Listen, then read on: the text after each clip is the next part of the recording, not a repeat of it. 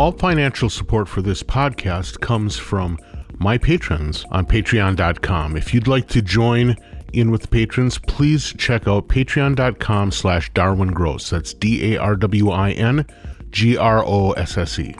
Now enjoy the podcast. Okay, this morning I have the great pleasure to talk to someone uh, who I actually learned uh, learned most about through some uh, press releases from Mute Records. His name's Simon Fisher Turner, and uh, the thing that caught my attention was a collaboration that, when you hear this, will have just come out uh, with the ceramicist uh, Edmund de Waal. And so I got a chance to listen to it, and then I dove into his work and a phenomenal body of work. I I was blown away, and so uh, I was I reached out to the folks at Mute and they hooked me up with Simon, and so we're going to have a chance to talk to Simon Fisher Turner this morning. Hey, Simon, how's it going? Good, good, good. Thank you. It's um, it's raining hard outside here in in London, and it's yep, it's been raining all day. It's pretty English, but it, things are going very well. Thanks. That's it. Sounds like so very English indeed. So, as I mentioned, this collaboration that you did with Edmund de Waal really caught my attention. And when I heard it, um, I got a chance to listen to some of the pre release work. I was blown away because it's sort of like this beautiful mishmash of like field recording, but composed sound. And I, I, it was just gorgeous. Can you tell me a little bit about? Uh, about the details of that recording how you collaborated with Edmund and and what what is sort of the backbone of this recording? Okay, well, well, the backbone of it, uh, there are a few things. The the sound of Edmund's ceramics. Um, he makes these very intricate vessels out of porcelain, and he's a real porcelain expert. And um, he's known for his writing as well as his his art, as it were. And I got a phone call from somebody saying, a friend saying, would I be interested in working with a ceramicist for an exhibition in Los Angeles? And of course, being the sort of positive dude I am, I suppose, I went, yeah, sure, of course. and Edmund phoned up, and then, of course, I'd remembered that he'd also uh, written a rather brilliant book about his family called A Hare with Amber Eyes, which was really an extraordinary journey which, yeah, it's, it's about his, his relatives from the, the long lost past. And he's very interesting, and he popped around to see me in London, which was very gracious of him. And um, we sort of, he, he asked me if I'd like to collaborate, and I said yes. And so the first thing he said to me actually was, in fact, would you like to come to Vienna with me for a few days and record where this, this gentleman, Schindler, um, lived, and he, he just started talking and he opened up to me totally about how he was feeling about the project, about where it was going to be in Los Angeles at the Schindler House, and we got on like a house on fire, really. You know, bashed bashed the the idea around the car park, really, as it were, and um, I, I suppose a couple of months later we flew off to Vienna together for a night and spent a couple of days in Vienna, just recording what people call them um, uh, field recordings, but I, I didn't really call them field recordings. Just recording the city, recording the sounds. I mean, i have been to Vienna before and um, didn't have a very great time there actually when I was a teenager. So it was delight to go with Edmund, who showed me all sorts of places. And I have a little digital recorder with me, and I just record the heck out of whatever I'm doing, and my ears sort of lead me, lead me to where we're going. And Edmund had a list of where he wanted me to record, and the idea was to see if I could just record a compile a whole lot of recordings from the city, which were specific in his mind to the project, and then mess around with them later. So that that's the first thing. So I'm just I mean, I'm, I'm a recorder, or I'm, I'm like a kind of human tape recorder to a certain extent. okay. And these days with digital stuff, it's great. I mean, generally it works wonderfully. It actually did work wonderfully, and um, I got very lucky. We saw what we needed to see, And then we came back to London, and the idea was to, well, the idea was to just see if I could make something. The great thing about Edmund was initially that he didn't actually really expect anything. Mm. And he didn't necessarily expect anything to work. It didn't matter if it didn't work. We both agreed that it was going to be nice to spend some time together Sure. and, you know, while away a couple of days in Vienna, just poodling around, really, having nice lunch, uh, pottering around. And so that's that's really what we did. And and I came back to work in London and immediately got at it and started to delve into these recordings and see what I could get out of them. And that was the initial the, the initial process. Is that let's say that that was my instrument to start with, the city of Vienna, Sure. and then the and then and then the penny dropped when I was over at Edmund's studio one day and uh, we were having lunch, and I suddenly realised that uh, oh I I know what happened. No, he bought a he, he bought a, a broken vessel which is about three two and a half three inches high, a broken and bits of shards, and he rolled it on the table. And I don't know if you know how if you roll something which is is imperfect, it rocks from side to side, and Mhm. the speed gets faster and faster and faster, and it gets quieter and quieter and quieter as that happens. Ah. So the I think I heard. I think I heard that in the recording. There was that one. There was Exactly. a, it very much jumps out as this beautiful transition point, right? you will find these scattered through the recordings in one way or another. It may just be a simple. So anyway, that was the sort of gateway because I looked at Edmund in astonishment, ran around the studio picking up broken bits of porcelain, popping them into a little tray, and then disappearing into his storeroom for about 45 minutes. I came out 45 minutes later having dropped, thrown, twisted, rolled, all sorts of bits of porcelain. Number two, I was a happy, happy little cat now. I was very, very happy. so that's instrument number two. So that, for my money, I've I've got all the instruments I need because I've got. Right. I'm gonna. I've started processing the sounds of Vienna. Then I've got Edmund, and then I started processing what Edmund had done. And I suddenly realized, of course, that that was pretty stupid processing Edmund's work. So I decided to keep. I, I, I decided to keep Edmund's work completely pure, and then I started getting really, really pernickety about the pieces I wanted to use, and then and I wasn't quite sure how to use them either. I mean, the whole thing was going very slowly, getting all this together, and I was in no hurry, but I wanted it to take its time. And so, for instance, that was number two. So I knew I wanted to do that, and Edmund thought that was a good idea. We we quite liked the idea of me attempting to make something of these two positions now.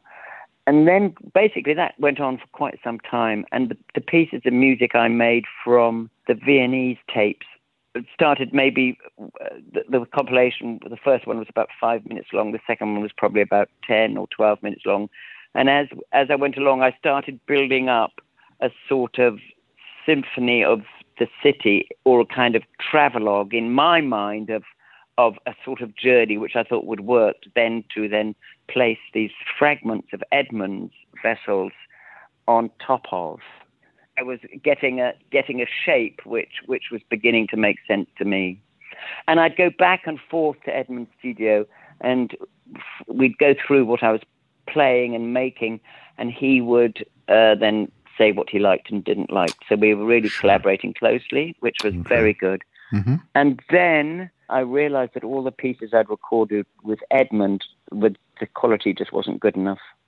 And so I then went to ano- a, a, really lovely recording studio in London here, which I use, and um, went into a very quiet environment and suddenly started recording again all the bits and bobs of, of the rolling fragments and dropping Oh. tiny pieces of white porcelain. And because they're so small, there's something about them. Because Yeah. I, I, I've no idea why, but I guess it's because that the dust is so fine, the porcelain dust is so fine that the frequency that they sort of well, the frequencies are so high, it's it's almost impossible for me to record them at home. Right. Right. So that was a problem, but then it was solved by doing that. And then the third part is once we'd actually made the whole piece and we were satisfied it was it, we, we went to Los Angeles, installed the installation, but then while I was there, I started recording again, and then some of the stuff from that, actually from the Schindler House, went into making a sort of extra version because I was determined by then to make an album of it Okay. because I didn't really want to waste this this opportunity. beautiful work, it was- right? yeah. it was it was a it was a good thing, and I definitely wanted to turn it into a record for mute, particularly specifically for Daniel. hmm Yeah, we should uh, specify that this was the relationship of all these things was you working with Edmund Waal as Yeah. part of an installation. It was an installation in the Schindler House in L.A., Yes. right? Yeah, okay. Yeah, And so that's how that tied all together. It's really kind of fascinating the way that you actually sort of, uh, you know, by going to Vienna, you almost kind of like walked the history of the house, but also walking the history of the development of this installation. There's sort of like a lot of different trails you followed to get to the mouth of the river here. this is this is true. It, it was a bit of um, a jigsaw puzzle to start with, Sure.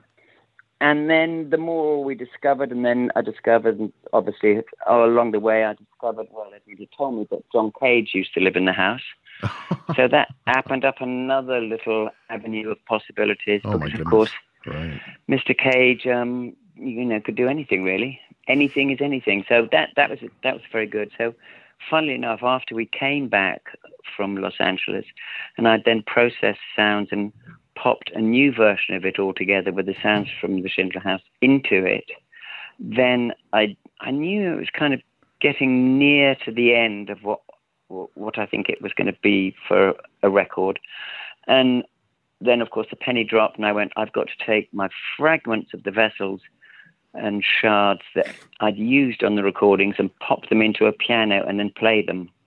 So it's an unprepared cage-like piano, Ah, interesting. and that's what the and that's what the pianos are in there, and that's why they're they're there, and that sort of tied the, the whole project up with a neat little bow, really. Right. Well, that's it's interesting because uh, you know, in thinking in terms of your collection of all this instrument, all these what you call instruments, I mean, there is that one spot where there's sort of like this piano and rough, noisy sound all kind of coming in at a shot, and I was like, Yeah. uh, where how was how does that play into it? And it's it's very clear now uh, what that is that it. is. That's, that's we ran the, tr- the the album from the beginning, and I just played through once, and that those are the bits I liked. Got I it. wanted to keep it pretty minimal, and I liked the way that the, on the second side of the album that those piano, those two chords really fall was kind of. I thought, mm, that's quite interesting. Well, it had a real Um, drama to it for sure. you Yeah, yeah, it does a little. Um, so then no, I was pleased with that, the way that sort of rounded off. I have to say.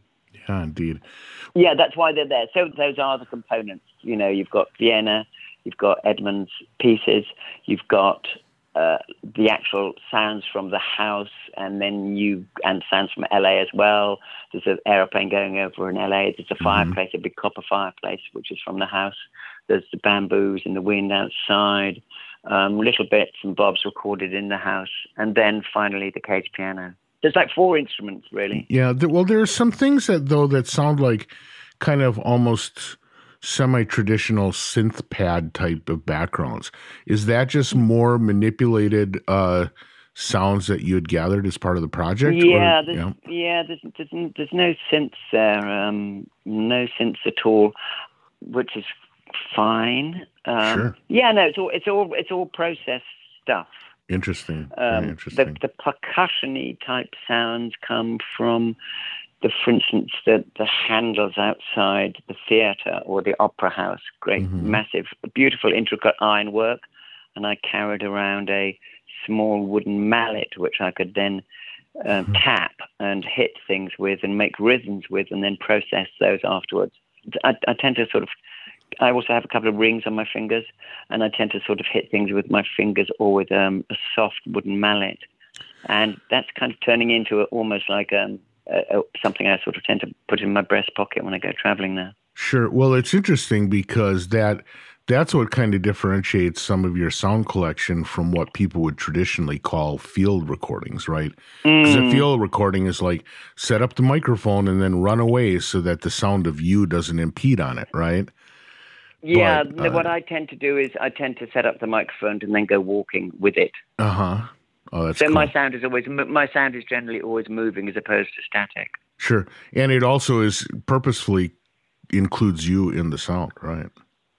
Yeah, I try to be as quiet as possible to tell you the truth. Mm. I mean, I did. I did when the horses came past. I heard that from the Spanish riding school. The only, re- uh, for instance, the reason the horses are there is because it's a beautiful high sound. But you have they, they were pulling a. Um, uh, they were just going for a morning walk, I think, exercising them. They're going through the street, so I ran after them. But at some stages they're in rhythm, then they go out of rhythm as right. well, and that's exactly what happens when you set up two or three of Edmund's vessels and rock them at the same time. Oh, sure, they're in rhythm, course. then they oh, go right. out of rhythm. So we set them left, right, stereos and they're sort of brothers and sisters. But they're, it all makes sense to me logically. Sure, so so true.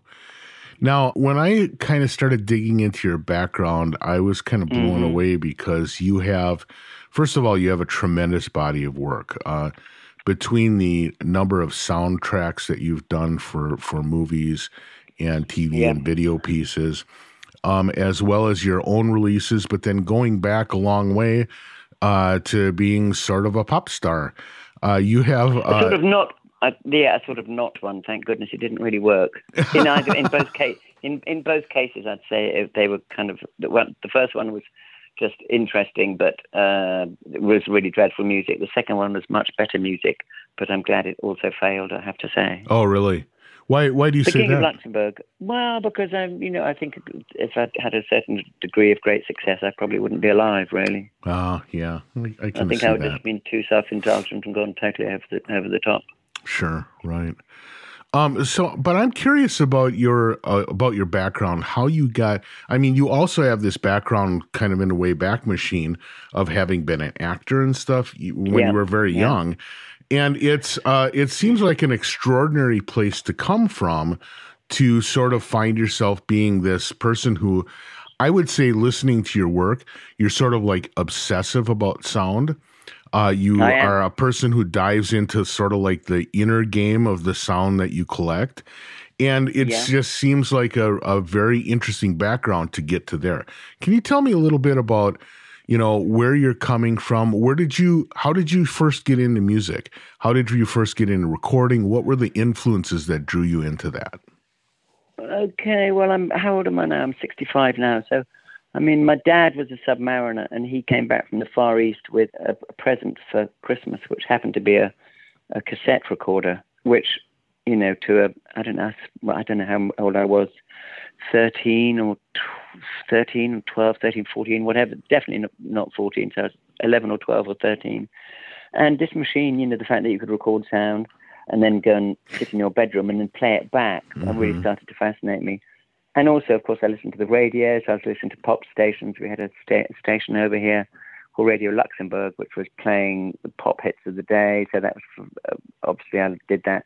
But I was also in, influenced by the fact I was interested in the sounds between the long wave, all the kind of Russian radio stations, which would just send off sort of messages from space. Everything sounded like and I like the noise between the sounds very much.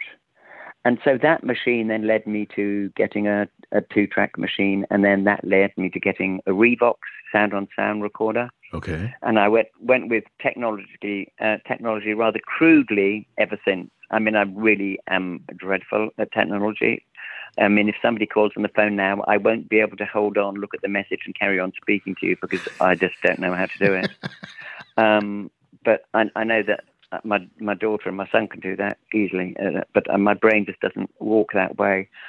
And so I was, you know, the music, and when I was growing up, the late '60s and early '70s, the music was just magnificent, really. And once I'd moved to London as a kid, as a teenager, and I'd accidentally started going to the Marquee Club, where you'd see, you know, I mean, ridiculously delicious bands constantly.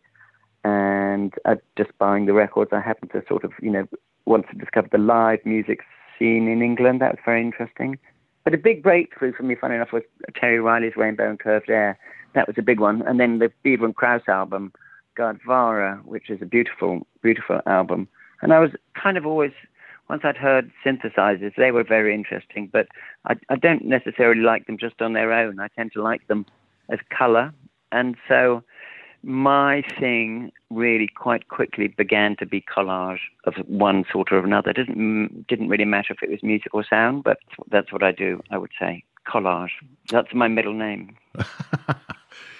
Well, that's really interesting that you say that because I would tend to agree with you in a lot of cases, but also in some cases, like with some of your film work, uh, mm. or like I saw some of your test reels of things that you did for like BBC ID drops or commercials and stuff. Right. I mean, you're also Funny, put yeah. in a position to have to do some really kind of traditional, fundamental musical phrasing and stuff like that. Do you, did yeah. you have a music background? I mean, were you? I did actually. Yeah, I did. I mean, I went to a choir school, a boarding school um, with a very good choir. Okay. It wasn't just a totally music school, but we were taught traditionally. And then I went to a ballet school, but I sort of, and I, I was playing the clarinet by then. But I, I had teachers who actually actively encouraged me uh, to do my own music. So that was helpful. They tended to hear me playing the piano, and I loved singing, and so I sort of had a I, I had a, a, good grounding in a sort of contemporary, uh, sort of classical musical education, and then I sort of w- went off on my own, really, trying to avoid jazz as much as possible. I believe, but I don't mind. Zzz, I'm happy with jazz without the jar. I'm quite happy with the music, but I don't need the the jazz. The whole the whole thing of jazz frightens me. Oh, really? Yeah. Although I actually, funny enough, I mean, I play with a lovely musician called Gilad Atzmon, and he's he's super jazz. But um, I, I have um, and pianist Keith Jarrett, I would say, was delight at one stage. I like I, I don't mind jazz soloists so much, but a group of jazz people just pretending to make it up as they go along with all those mistakes. Hmm, slightly suspicious and quite. I, yeah, I, I, find it different. I'm still believe this sounds very odd, perhaps, but I'm I'm still I still struggle with Miles Davis sometimes. Uh-huh. Sure. I think know, a lot of I think um, a lot of people do, and I think uh, because I think that there are different minds coming to the game of uh, of music and sound, and I think that to a certain extent there are people who really want the composition to be part of the thing, and you know a lot of jazz music is really oriented around a very loose structure with uh, a yeah. lot of freedom to do whatever, you know. Yeah, but it's all the counting that upsets me, really. I suppose that's all the counting. But they do say, "Listen, we're improvising, but can you just play G flat minor for 14 bars oh, and yeah. 23 bars? I want you to go to B, then to D, F, and G." And you go, "Hang on a moment, that's not improvising. But you just tell me what to do." Right. Yeah. So that's that's that's why I have a problem with it more than anything else, because actually they do know what they're doing. Yeah. Right. That's that's a great point. I am. Uh, I'm kind of curious about. You've given me a lot of questions here, but I want to actually go back and and talk about some of your sound collection that you did, particularly in working with de Waal's uh, ceramic work. I mm. actually read this beautiful article in the New York Times uh, where uh, somebody went and spent some time with Edmund de Waal, and uh, one of the things what I loved about the article uh, I remember reading it, and when I saw this, I went back and I, I reread the article. And one of the things that they talked about is that Edmund really wanted people to touch ceramics or touch the porcelain, mm. right? And he was like, for this writer, he was like constantly like giving them pieces, you know, here, touch this, feel this, you know. Is was that kind of your experience? Was the touching of it a, a big part of the experience? That's quite funny. Well, because for I mean, I suppose if you went to the Schindler House, there was a, there were some pieces you could have touched, but the others which were in glass fronted and back latrine, so you actually couldn't touch them. But oh, really? no, to me, to to me, they're very tactile, and I think yeah, that it's very interesting how he thinks about his own work. I'm gonna have to say, um, I didn't read that interview, but no, he's a. I mean, he's a tactile person as a person. Uh-huh. He's, he's, not a stranger to giving you a good hug and a you know hand on your shoulder. That's all that that's all really good, even in this day and age of coronavirus. But sounds as though you might be coming up with yourself. Um, yeah, I'm sorry about that, man. I have a horrible cold. No, no I, I believe in touch more than staying away. Um, I, something I've always done, and I've obviously been told off. A lot of artists don't even think about it. I think, or if they do think about it, they certainly don't talk about it. And you tend you tend to be encouraged not to touch. You know, you have the sign saying "Do not touch." Yeah, right. Well, okay, but if it's you know a five-ton, huge, great big piece of you know iron cast in an extraordinary ab- abstract shape and it's possibly hollow. I mean, why wouldn't you touch it and bang it? I just don't understand why you couldn't be a bit more childlike and and sort of have some fun with it. Yeah, it's like what could you do to it, right? yeah, what am I going to do? Am I going to am I going to bruise your six ton piece of steel or what? You know, so I'm, but I'm always looking to obviously the sound because I'm just, yeah, I do go around constantly banging things and scraping things and running my fingers over things, and it's just, it's yeah, it's, tactility, if there's such a word, certainly certainly is one of my, my trademarks. I definitely like doing it. I mean, I just love the sound. I mean, the sound of dragging a small, tiny piece of porcelain over a, another rough piece of Chinese porcelain. These little scrapes. I, I became obsessed with the tiniest of sounds with Edmund. I have to say. But he's a cool guy, you know. He he reminds me so much of Derek Jarman. He's very oh, much in Derek's vein. He's totally open. I mean, we did a performance last night of reading extracts from Blue, the Tate Britain with Tilda Swinton and Spencer Lee and Edmund reading. And as a trio, they were just magnificent. They just bowled through this poetry, and Tilda and Spencer and I sort of just surprised Edmund with it, and he was just so up for it. It was great. He's open, he's got a great brain, and he moves sort of, he moves with a tremendous amount of sort of unashamed agility for life, which is just tremendous to be with. Very, very Jarmanish. Well, that's so that sounds like there. that sounds like the kind of panache that's enjoyable to be around. Um, are you yeah. saying that that he was doing the readings and what you were? Were you like performing sounds and stuff, or or is yeah, it... I, w- I was telling stories, and I found some outtakes from Blue, and I found a tape of a, a demo we did with Matt Dillon's Heartbeat, for instance, and Derek doing all the narration. So that was a surprise to everybody in the room. But it was funny to tell the story of it. You know, the stories were fun. And then Derek and Tilda and Spencer did the readings, and I just listened. it was it was good fun. That sounds like that was amazing. Uh, so, like, if you're performing something like that, and uh, I don't know, do you do you perform much in general? Not really. I mean, I do. We're going to do something at Edmund Studio in a few weeks, but I tend to, I try to, but not not too often. I get I, I, I get worried setting up doing it because they tend to be based on the dreaded improvisation word, uh-huh. um, and so they can kind of. I tend to set things up on the Mac, and then if I've got a piano nearby, that's handy. And if I've got one other musician to play along with, that's really good generally. Sure. One more musician is is probably about my maximum. I've or made two super maximum, but otherwise you just tend to eat up your own space. And you tend to play on top of each other. Yeah. And I'm not really a fan of just people um, piddling about and just kind of playing for the sake of playing. I think it's much well now. I just far prefer to play with people and one's just much more specific about where one's playing as opposed to what one's playing. I think, but I do like to do it. I do like to do it. I like to do it with all sorts of people, but I'm uh, strangely unrepresentative, uh, kind of when it comes to live work, um, because people say, "What do you do?" and I say, "Well, what do you want?" You know, mm-hmm. and that confuses them immediately. right. What kind of music? What you know? Uh, well, I say, "Well, well, I have to know what you want. Then I'll give you. You know, I can give, but you have to give me some sort of guideline. It may be financial guideline, or it may be." You know, um, yeah, it tends to be a budget sign and then they can say, well, for that I can give you this, or if you want a ten-piece band, that's going to cost more because I want to pay people properly. Right. Uh, so it's all to do with all sorts of things. So it's quite complicated, and it's probably I probably put my foot in it half the time anyway, and get kind of cut cut cut myself despite my nose, really. Sure. Well, with with the kind of music that you make, though, how what is what is a doing a live performance? You say you you have a Mac and maybe a piano are you just firing off sounds, or do you have something like Ableton Live or something that is? Yeah, I use Live. Oh, okay. I use Live, and I load it up, but nothing's nothing's nothing's set up like a song, right? No, absolutely. I wouldn't know where to begin with a song. no, st- I tend to. I mean, I tend to. My preferred way is I tend to set things up so that I can start anywhere, go anywhere, forwards, backwards, upside down, process as I go along.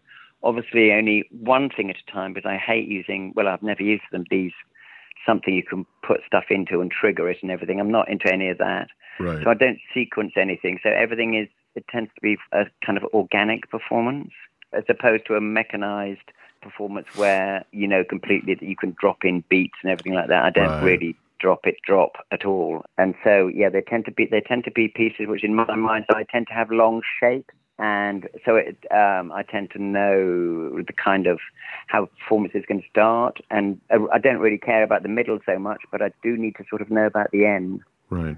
Well, it's interesting um, you say the thing about long shapes because one of the things I was going to say of listening, you know, kind of like uh, preparing for this interview, listening to a variety of music that you've done is mm. um, often the thing that sort of pro- provides the the backbone or the structure for a piece might be um, some things that are the way that you capture them. It'll be something that has an organic rhythm to it when it loops. Yeah. Yeah. And um and then you'll play those off of each other, but there's also over that there's like an overarching uh sort of like shape to it as well that you must just do with a volume control or something. But it seems like that's something that you play with a lot. Yeah, I mean, I'm slightly, I'm getting slightly nervous now saying that because it sounds like I'm going to be rather predictable. But um, no, it's not. I'm just saying the opposite. It's gorgeous. It's beautiful. Oh, that's very, that's very kind. Um, I do make things which I think are going to work, and I have got into something. For instance, the other. This sounds a bit odd at the moment, but the, last week I was in Moscow, and I did a concert with a musician I'd never met before. The night before I was meeting this musician I'd gone out um, with some friends into the street and I'd started hitting stuff as normal, recording stuff. And then back in the hotel, I made rhythms out of little extracts, which I know knew would go together. Mm-hmm. And then the next day, I put them with a, a sound which was coming f- through from the rehearsal studio next door, which I was complaining about all the time because I could hear the bass coming through. But what happened was that actually the little piece I extracted had this bass in it, and when we came to play it live, I really pushed it and brought out it and re EQ'd it as it went along. And it was like, a, suddenly it was like I'm in some sort of deep house club. It, right. was, it was very beautiful. And that had come out of the, this accident of something I thought might and might not work because the bass was coming through. And I thought, well, we're recording everything, so I might as well pop it in to see if it works. And it worked better than I thought it did. So that was quite pleasant. Accidents. I like a good accident. Yeah. Well, and I was going to say that one of the things that you know, you say, oh dear, I hope I'm not getting predictable. I mean, that's sort of the nature of that stuff is the unpredictability of capturing things and then playing with them until you sort of like their let their organic nature come through, right? Yeah, I mean, I do like that. I have to say the Adam, the album with Edmund, um, a Quiet Corner in Time, is an extremely specific piece of work. Probably more than anything I think I've ever done. Mm-hmm. I think everything is so uh, we thought about and we've spent a lot of time doing really lengthy you know fades and trying to get everything right i mean it's not perfect by any stretch of the imagination but it's our best effort i have to say but i'm looking forward to restructuring it kind of remixing it i've done it once and then i'm going to do it with edmund again in a couple of weeks time where i'll take bits and bobs and sort of it's not remixing. It's just it's just repositioning bits and bobs and sure. having a go at just sort of shuffling things around in a more abstract way live. And then we're going to break things, which I'm looking forward to immensely with Edmund. Can you imagine Edmund de Waal dropping something? I mean, it's going to be fabulous. There's a galleryist, uh, gallery owner somewhere going, "No, don't do it, don't do it." right? Exactly. They go, "Oh my god, I thought that was worth it." Oh my god. How fabulous. Have you seen, there's a wonderful video of somebody in a gallery, actually, which is beautiful, which I recorded, I don't know, last year. Some gallery, I think it's in New York, and, and all the beautiful mirrored pictures on the walls, massive mirrors. And he just goes around smashing with a huge hammer. He just destroys these pictures. And that's his performance, and that's his art, and it's actually really extraordinary. I don't think we'll go quite that far with Edmund, but um, um, we're going to attempt to break some things, I'm sure. Yeah, so now uh, Edmund was involved in sort of like collecting the sounds and putting together the the stuff that was going to be used in the installation. Was he also involved in putting together the album release as well?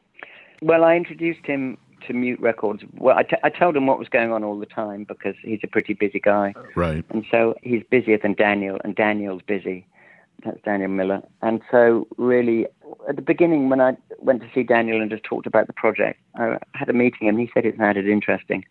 And I couldn't play him anything at that stage. And then, as, as the months went on, I was able to play Daniel, well, give Daniel lots of bits, a couple of little bits I was p- playing around with, which I was showing Edmund to show to Daniel. Mm-hmm. And, and then, when I had a meeting with Daniel, I mean, I have no idea whether Daniel ever listens to anything I give him to start with, because I, I never ask. You know, there's no point.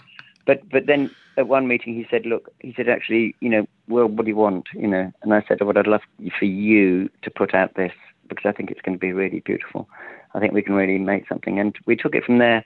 And then I took Edmund the the mute book, the artwork book. Right. And he loved all the photography and all the artwork, which everybody had designed, Paul Taylor included, Paul A. Taylor. The artwork sort of came together with, funnily enough, with Edmund and I. And it turns out that, in fact, I took the pictures on the front cover totally by accident. Uh, but we've def- it's definitely been a collaboration, but we haven't necessarily been meeting in person to do it. Okay. But he's been in. I mean, I wouldn't do anything without his total approval, and that goes down to the videos we're putting out and everything. You know, he's he's behind everything, and um, absolutely as close as collaborators he, as he could be. You know, and he understands because he actually has a great knowledge of, of modern classical music. He knows far more about John Cage and Webern than I do. Mm-hmm. I mean, he's he's a top dollar, really super bright person like Mr. Jarman and but doesn't boast and doesn't show off about it. He just casually knows the whole world and all that's in it, you know, as opposed to I sort of dance around the edging, fitting, picking up things rather lightly. So he's a he's a cool guy to hang out with. For instance, one of the things last night is I just wanted to put Edmund and Tilda together because I just thought it would be like you know smoked salmon and cream cheese or whatever, and they would just got on like a house on fire. Oh, and that's what I like to do. I like to do that. Another thing about a quiet corner in time actually was I just wanted to make a complete piece without scaring people to death because I could have made it really, really, really scary. Sure. You know, I, I, scary sounds tend to be easier than not scary sounds. I think. Hmm. So I, I was determined to kind of keep, apart from the the first piano crash, uh, it's it's a pretty tame piece for me, and uh, but tame and I'm still trying to figure it out. I mean, I still, I've talked about Edwin last night. I mean, I still don't really, I'm still calling it a thing uh, because I don't really, really know what it is. And I think he could probably tell me what it is better than I can tell myself. You, you kind of talk about it being easier to do scary stuff. Do you think that, that some of that is because maybe the nature of dimensionality, you know, when you're doing, when you're taking small sounds and making them really large, does that just like is that kind of scary just because of the nature of it? Or when you're taking things out of their normal context you know because you did a recording uh, on the street banging on a handle or something when you take them out of their context do you think that that's just disturbing to people in general? Or do you think you have a particular bent in like combining things in a scary way? I really like messing things up. right. has to be said. It has to be said. I, I love I love a bit of noise. I really do. But uh, you have to be careful. I don't like a lot of noise constantly. Like I don't need to listen to 45 minutes of wailing feedback and right. synths and modular synths going completely crazy, dicking around everywhere, like just like nobody's thinking. I, I, I like things to be sparingly terrifying, I suppose. Mm-hmm. Within a landscape which is possibly not coming from that at all. Right. Equally, of course, when it comes to film music, I just love silence. You know, I love when it, when you drop away and you've got virtually nothing there, and then maybe something comes in and appears to be nothing, but actually it is something.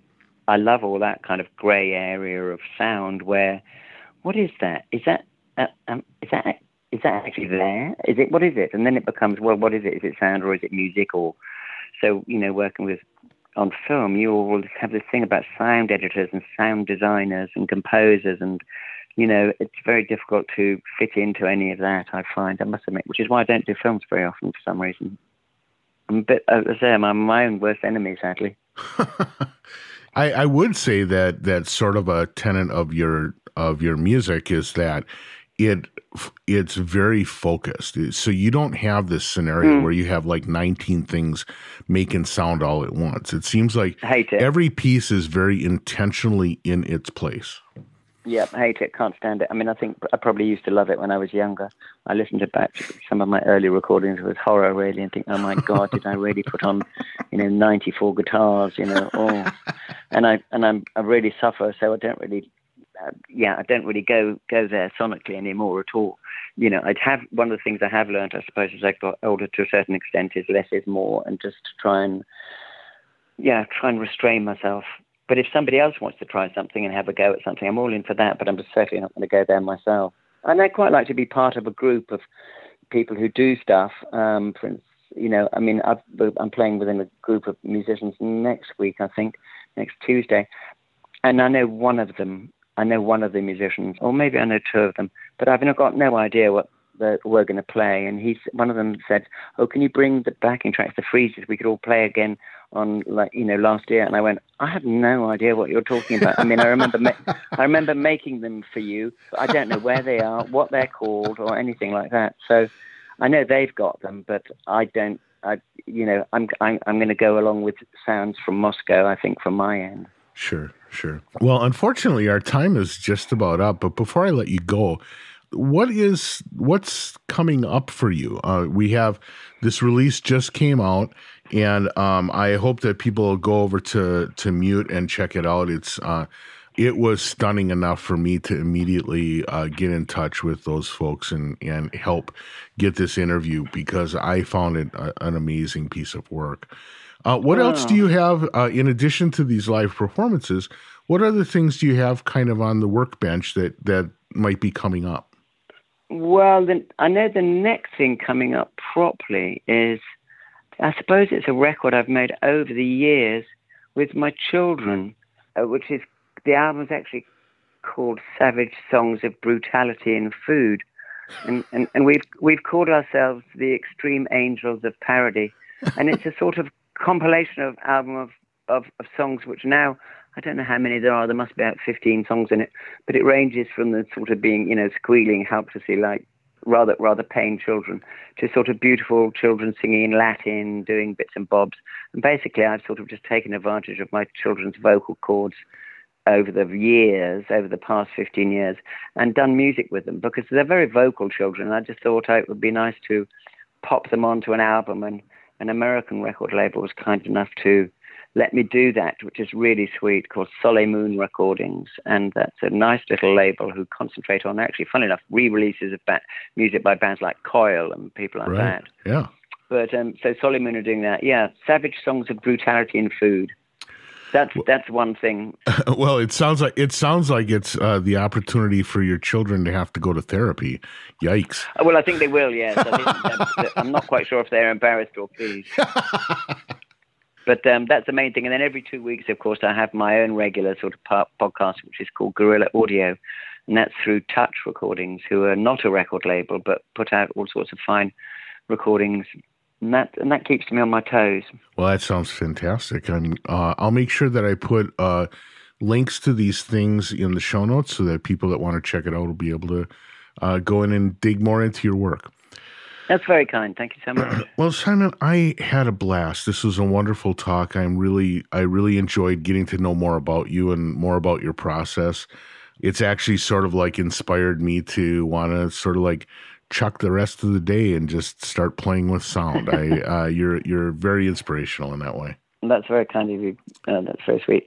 Well, it's been a pleasure. Um, it really has. It's been nice to have a chat. Where are you based, by the way? Um, I'm in. Uh, I'm just just outside of Minneapolis in uh, oh, cool. the U.S. So, uh, kind of, uh, you're getting a lot of rain. We're still getting a little bit of snow here, but uh, I bet you are. but it's a wonderful place to be as well. Fantastic, brilliant. All right. Well, with that, I'm going to uh, I'm going to let you go. Thank you so much. That's a pleasure. Lovely to speak to you. Yeah. Lots of love from Portobello Road. Ciao, ciao.